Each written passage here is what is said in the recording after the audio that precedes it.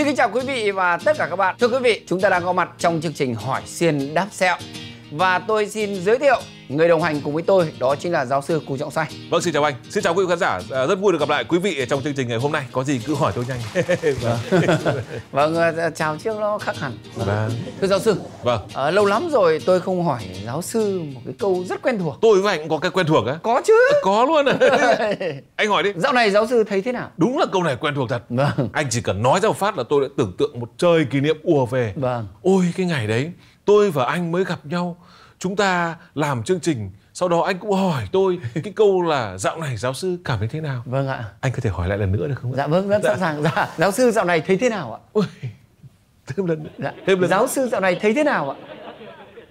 Phải nói là đầy ký ức thêm lần nữa anh. Giáo sư đánh nhau không ạ đang hỏi khỏe hay không? Đánh nhau. Tôi hỏi giáo sư giáo sư trả lời khỏe hay không khỏe thế thôi. Cứ bắt tôi hỏi đi hỏi lại làm gì? Ờ, chứ không phải là anh cố tình hỏi tôi để anh chọc tôi à? Xin lỗi giáo sư tôi đến đây để làm việc. Tôi không rảnh mà chọc giáo sư. Thì anh phải nhìn thấy là tôi đến đây để trả lời tức là tôi khỏe rồi. Thế không khỏe tôi đến đây trả lời làm gì? Tôi đã ở nhà rồi. Thế anh còn phải hỏi tôi làm gì? Hỏi luôn các câu hỏi khán giả đấy anh cứ hỏi mấy câu vớ vẩn làm gì? Bởi vì đó là những câu hỏi nó hơi xã giao một chút nhưng nó rất cần thiết trong những mối quan hệ như thế này. Thôi. Tôi hỏi có khỏe không? Thế thôi còn giáo sư không thích thì tôi vào thẳng câu hỏi. Tôi với anh cần gì phải xã giao với quan hệ gì đấy? Thưa quý vị bây giờ sẽ là câu hỏi đầu tiên. Vâng. Bạn đông nguyễn có hỏi thưa giáo sư cho em hỏi tại sao gọi là xe cứu hộ mà không gọi là xe cứu thuê? Vì lần nào họ cũng lấy tiền của em? Đấy giáo sư trả lời. Đấy anh thấy không? Câu của các vị khán giả nghe nó hay hẳn nghe nó đậm đà hẳn chứ nó không kiểu đơn điệu như mấy câu của anh. Xin mời giáo sư. Không thì để tôi đã phân tích về cái câu hỏi của các vị khán giả. Dạ vâng. Anh thấy không? Rõ ràng là xe cứu hộ hay là xe cứu thuê? Thôi thôi thôi không cần phải nói cái cái chất lượng cái câu của tôi nữa. Bây giờ giáo sư cứ trả lời đi. Thế này bà đông nguyễn ạ. Vâng. Cái từ hộ ở trong tiếng việt mình nói là từ hộ nhưng thực ra nó là một từ hán việt. Vâng. và từ này thì có nhiều nghĩa khác nhau. À. Từ hộ có thể là cái cửa tức vâng. là cái cửa mà có một cánh ấy nhé. Vâng. chứ còn có hai cánh thì lại gọi là là môn. À đấy, vâng, nó vâng, nằm vâng. trong từ môn đăng hộ đối đấy. Dạ vâng. Thứ hai là hộ đây có thể ý rằng là một gia đình. Ví dụ như là khu phố này là có 10 hộ. Vâng. hộ có thể là uh, giúp đỡ nhau. Ví dụ vâng. như tôi ờ, làm hộ anh cái này nhá. Vâng. tôi trả lời hộ anh cái này nhá. Dạ. Và hộ còn có nghĩa là bảo vệ.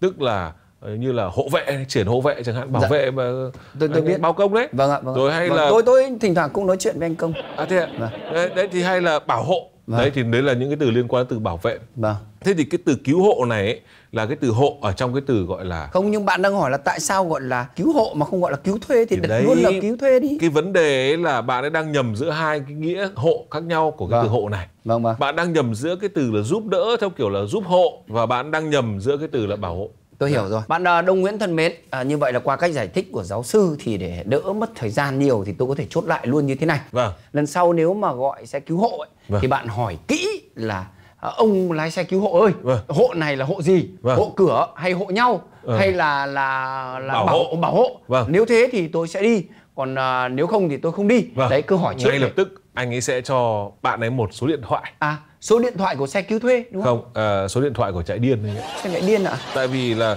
đã đang có vấn đề rồi phải gọi xe cứu hộ rồi Vâng. còn hỏi người ta xem là xe cứu hộ này là xe cứu hộ kiểu giúp đỡ Vâng. hay là xe cứu hộ này là kiểu bảo hộ để còn trả tiền hãy xác định đây là một dịch vụ anh đã gọi dịch vụ đến thì anh trả tiền đơn giản thế Vâng, thôi vâng, có gì vâng, mà vâng. thắc mắc căng thẳng Xin cảm ơn giáo sư.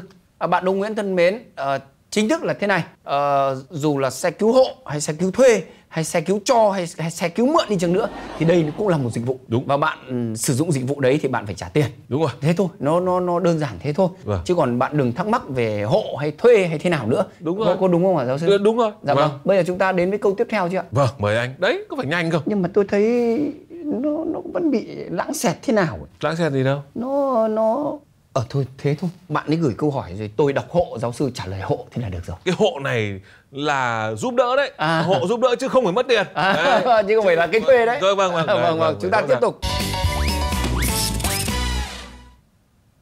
Ờ, Vâng. bạn Lê Văn Liễu có hỏi Ở nhà em bố em nói lắp Em cũng bị nói lắp Nhưng Rồi. chị gái em thì lại không bị nói lắp. Rồi. Vậy thưa giáo sư Nói lắp có phải là di truyền theo giới tính hay không? Tên tên thì tên là liễu nghe là đã thấy liễu lưỡi rồi Nhưng mà tôi thấy thế này Ở đây tôi không phải là kỳ thị hay là nói cái Không, điều gì khác chả có gì nhưng mà, kỳ thị cả. Nhưng mà nếu mà đàn ông con trai mà bị bị nói lắp ấy Vâng. Thì nhiều khi nó rất là bất tiện Thậm Vâng. chí nó còn làm cho chúng ta mất đi những cái cơ hội trong cuộc sống mất tự tin Ví dụ như là quỳ xuống để tỏ tình với một bạn gái hạn. gọi là cầu hôn cầu hôn cầu cầu hôn hôn vâng ờ anh anh anh anh anh anh anh anh muốn nói với với với với với với với, với, với thế mà nát gối vẫn chưa nói xong nữa. Vâng, và còn cô kia thì cứ vậy đứng cười từ đến giờ khô hết cả răng. Mãi cũng không thấy anh kia nói xong thì tôi nghĩ là cô chắc cũng về thôi. Dạ vâng. Vâng, mà nói thật với anh là không chỉ riêng tỏ tình đâu Trong sự nghiệp của thứ cũng vất vả lắm. Đúng. Tôi có một anh bạn thân là tướng thời Tam Quốc.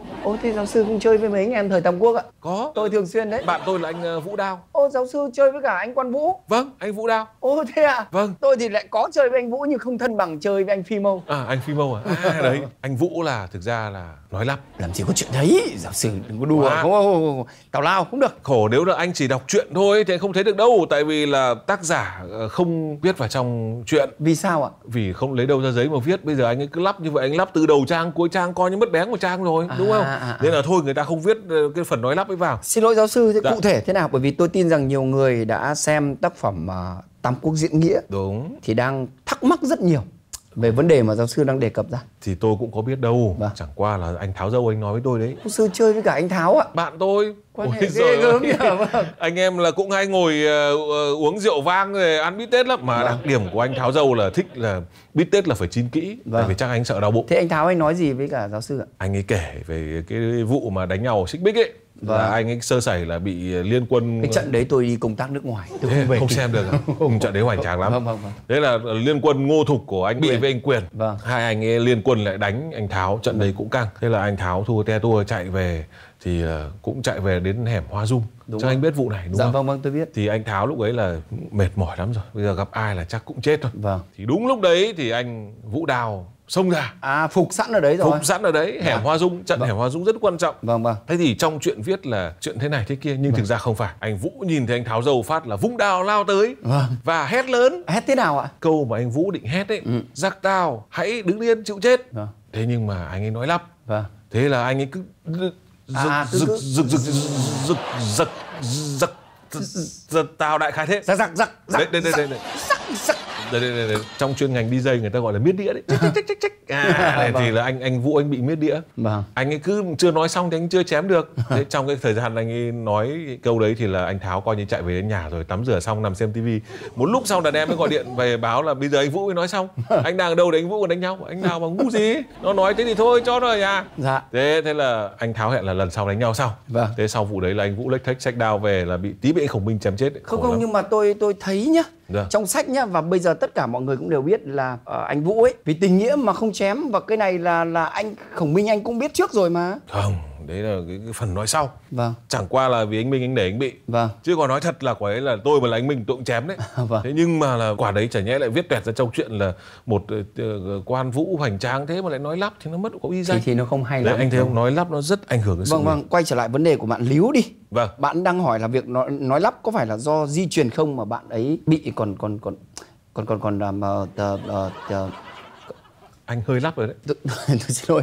Ờ, chị gái bạn ấy thì không. các nghiên cứu khoa học thì người ta cho rằng là thực ra cũng chưa rõ ràng trong việc là có di truyền hay không Vâng. và có thể là ảnh hưởng do môi trường người ta thống kê rằng là ở đàn ông thì có khoảng 20% là có nguy cơ bị nói lắp Vâng. và ở phụ nữ là chỉ có 10% có nguy cơ bị nói lắp thôi Ừ. bạn à, líu này có thể bạn nói lắp là do bố bạn nói lắp nên là bạn học theo Vâng. ví dụ bố ở nhà nựng con chẳng hạn ngủ ngủ ngủ ngủ ngủ ngủ ngủ ngủ đi con Vâng. thế bạn đang ngủ này thì bạn cũng ừ, ừ, nói thế chắc là ngủ là phải Vâng, nói như vâng, vậy vâng, Thế- vâng, vâng, vâng vâng đấy thế thì Dạ thôi vâng. đấy thế thì cuối cùng bạn học theo từ bố Dạ. nên là có thể từ học theo mà bị nói lắp Giáo sư vừa đưa ra một cái tỷ lệ. Vâng. Tức là khoảng 20% đàn ông có nguy cơ nói lắp, còn phụ nữ thì tại sao lại là chỉ có 10%? ban đầu các nhà khoa học bạn tôi cũng với tôi cũng đã nghiên cứu một cái đề tài việc này rồi Vâng. là cái tỷ lệ nói lắp ở phụ nữ thì Vâng. thực ra mà nói con số chính xác nó cũng tương đương đàn ông Cũng khoảng 20%. cũng 20% Nhưng mà tại sao lại chỉ còn 10% thưa sư? có một cái sức mạnh ý chí cực tốt ở phụ nữ đã khiến cho cái tỷ lệ này ờ, giảm xuống Vì sao ạ? chúng tôi thấy là nó có hai điều điều thứ nhất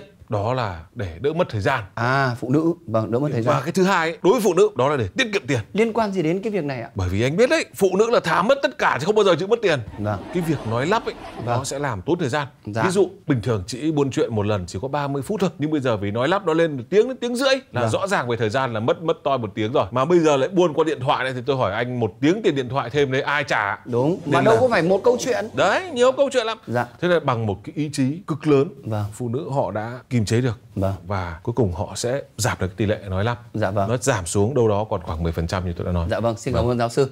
Thưa quý vị, à, qua cách trả lời của giáo sư, qua những thông tin mà chúng ta có được thì à, chúng ta ở đây là giới đàn ông ấy cực kỳ ngưỡng mộ phụ nữ. quá ngưỡng mộ À, vì những cái à, điều mà họ mong muốn trong cuộc sống họ có thể làm được tất cả. Họ dùng lý trí để họ đè nén đi cả cái bản năng kia được. Vâng. Đúng không ạ? Ờ, bản chất của cái việc bản năng nói lắp đấy ấy, là họ đè nén cái bản năng này để trỗi dậy bản năng khác. Đó Vâng. là bản năng giữ tiền của mình. đấy khả Dạ năng vâng. giữ gìn Vâng.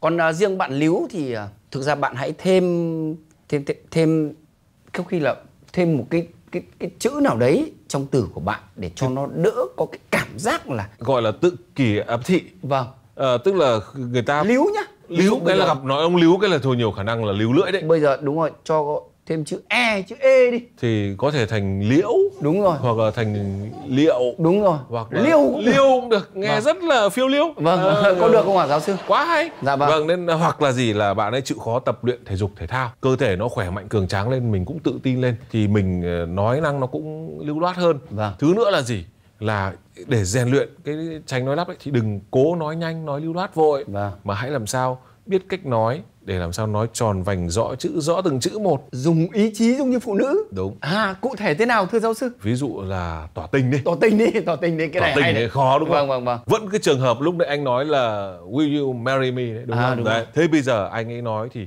hãy lưu ý là Thôi tôi, tôi đừng nói lắp tiếng Anh nhá. bây giờ nói tiếng việt Vâng, thế thì là phải chèn một số nụ cười vào tại vì đằng Tỏ nào tình kèm theo cười. đằng nào mình cũng phải nói mình cũng bị lắp cái đoạn đấy đúng Vâng, không vâng, vâng. thì đừng lắp nữa Vâng. đừng nói vội cái từ thứ hai cười đã để chờ qua cơn lắp mình nói từ thứ hai Hay quá. Mà tỏ tình thường là rất vui. đúng Mà mình lại cười. cười rất lạc quan Đúng. Đấy. Tuyệt vời. Xin mời giáo sư. bây giờ đấy cũng quỳ xuống rồi cũng cầm tay bạn gái rồi Đúng rồi. mở hộp nhẫn rồi Vâng. mấy cái này không cần nói Dạ. nhấc nhẫn ra rồi xong bắt đầu bắt đầu nói Rồi. em có đồng Hay quá mà. ý lấy anh Vâng. không anh thấy không Hay quá giáo sư ạ. Chỉ dài hơn một chút thôi Không không, vấn- đề là thế này. Ví dụ tôi vừa đặt tôi là là bạn bạn nữ nhá. Vâng. Mà tôi cảm thấy ở cái người đàn ông này nó toát lên một cái vẻ đàng hoàng đoàn hoàng và đầy tự tin bởi Vâng. vì thường là mọi người khi tỏ tình nó rất căng thẳng Đúng. nhưng anh này lại kèm theo tiếng cười điều đó có nghĩa là yêu rất chân thành không nhưng mà tôi tôi nghĩ là cái phần cười cũng phải tập luyện đấy Vâng. chứ cười mà nó hơi không không không ăn nhập với lại cái phần tỏ tình ấy là cô lại tưởng anh phê cẩn đấy chứ chứ cười mà cứ cười gạch ấy không được Dạ vâng, xin cảm ơn giáo sư.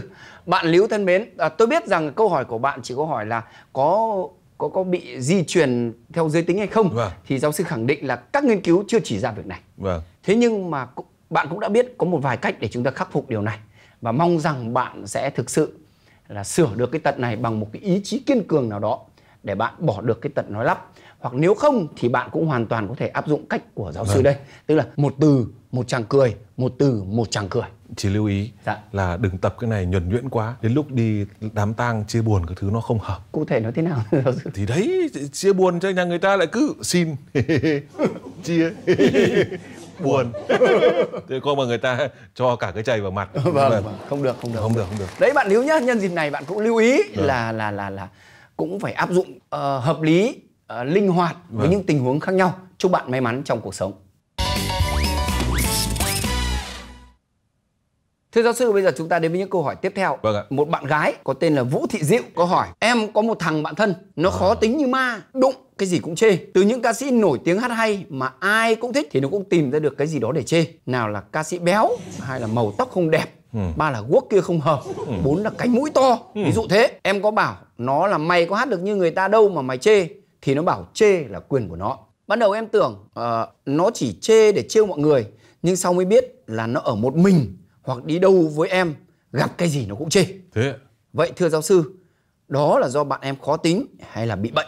Xin mời giáo sư. Ờ, tôi sẽ trả lời câu này nhưng tôi nghĩ là nếu như cái anh bạn này của cái bạn dịu đấy Vâng mà có nghe cái phần trả lời này của tôi thì tôi đoán chắc là anh ấy cũng chê thôi Sao giáo sư lại nói thế ạ? tại vì ấy, đây chắc chắn là một người đã có cái phản xạ sẵn trong người là đụng việc gì cũng sẽ chê Vâng. là ai nói gì ấy cũng chê thôi thì đương nhiên cái phần trả lời của tôi dù có đúng dù có xúc tích dù có hay anh ấy cũng sẽ chê Giáo sư đã nghiên cứu về vấn đề này chưa? tôi nghiên cứu rất nhiều Mời giáo sư. cái hiện tượng chê gặp cái gì cũng chê này thực ra là một cái biểu hiện tâm lý Dạ. là cũng không được tự tin lắm À. nên là cũng luôn luôn tìm cách khi mà gặp những cái thành công hay gặp một người nào đấy hơn mình thì luôn luôn phải tìm cách chê một cái gì đấy Dạ. có thể chê người đấy không bằng mình Vâng. hoặc là chê người đấy không bằng một ai đấy hơn để ờ, tìm cách là dìm cái thành công của người ta xuống Dạ. để mình cũng cảm thấy là à mình cũng không cách xa người ta quá đâu Vâng. à người ta cũng không phải thành công quá đâu Vâng. à cũng đừng có gì phải tự ti quá Vâng. ví dụ như là không cần phải là hát Vâng. hay đúng không ví dụ Vâng. anh là một ca sĩ hát hay Vâng. bây giờ tôi không phải người hát hay Vâng. tôi chê anh là anh hát không hay bằng tôi thì vô lý đúng không Vâng. nhưng tôi sẽ nói luôn là cái anh xoáy đấy là hát không hay bằng giáo sư xoáy đâu À, đấy vâng, vâng, vâng. thì mặc dù là